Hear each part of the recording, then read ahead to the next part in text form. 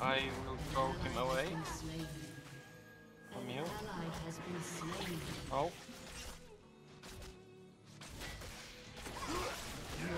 Nice.